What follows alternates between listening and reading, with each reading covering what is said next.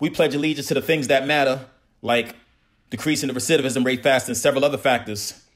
Let me paint a picture for y'all to capture. You can get a dime for a nonviolent crime. That's just how it's engineered.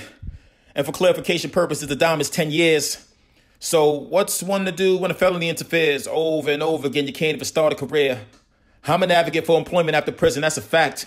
And mitigating drug laws like the Second Chance Act, the Second U Foundation exists to bridge the gap for the prison population that slipped right through the cracks. Oh, and here after you, we invest in the individual.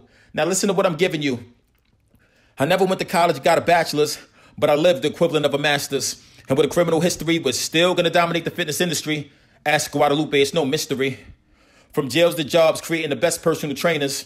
And I pledge my freedom as a wager to the naysayers, legislators, policymakers, and haters. And y'all can quote that verbatim. The United States has the highest incarceration rate. Maybe because we don't rehabilitate or create alternative and better opportunities for those living in high crime communities. This is an issue that lacks ingenuity, lacks congruency, and lacks public scrutiny. It's time to shed some light on this goddamn buffoonery. Is society's perception an accurate reflection of us, or merely a projection of black and Latino brothers? Is it better to ask for forgiveness than permission, or get punished for being honest about a conviction? Some feel it's better to hide it than lie, and that's a venture they defy. Figuring to tick box is just a filter for you to get denied, but not with the job placement that we provide. I could have been landscaping, doing construction and maintenance, but I was training before I was training. A phantom of my own opera in a prison cell doing vinyasa, exercising Tabata before Tabata, eating ramen noodle pasta, post workout, watching the Shawshank saga.